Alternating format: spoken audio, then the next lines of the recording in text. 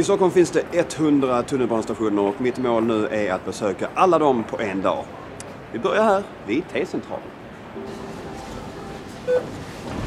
Karlaplan, Gärdet, Ropsten, Östermalmstorg, Stadion, Tekniska högskolan, Universitetet, Bergshamra, Danderyds sjukhus, Mörby centrum, Gamla stan, Mariatorget, Zinkensdamm, Hornstull, Aspud Örnsberg, Axelsberg, Mälarhöjden, Bredäng, Sätra, Skärholmen, Vårberg, Vårby gård, Masmo, Fittja, Alby, Hallunda. Den tunna röda linjen mot Norsborg. Liljeholmen, Midsommarkransen, Telefonplan, Hägerstensåsen.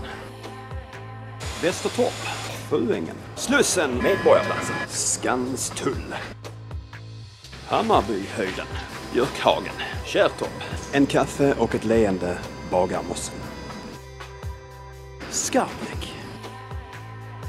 Skärmarbrink. Blåsut. Sandsborg. Skogskyrkogården. Tallkrogen. Gubbängen. Hökarängen. Farsta. Farsta strand. Då har vi nått eh, Gullmarsplan. Globen. Enskede gård. Sockenplan. Svedmyra. Stureby. Bandhagen. Högdalen. Rågsved. Hagsätra. När du är ensam på en tunnelbana kan du sjunga högt. Hötorget. Rådmansgatan. Odenplan. Sankt Eriksplan. Toridsplan. Kristineberg. Alvik. Stora Mossen.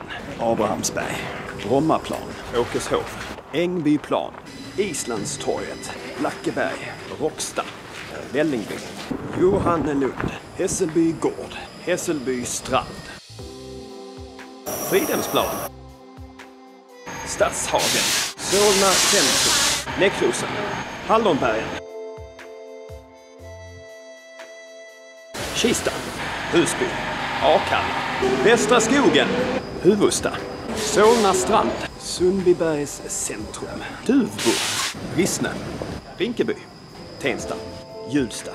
Rådhuset. Och slutligen Kungsträdgården. Alla 100 tunnelbanestationerna i Stockholm på eh, strax under 8 timmar inklusive en kort lunch. Ja, vad säger man om det? Bra jobbat Martin, bra jobbat.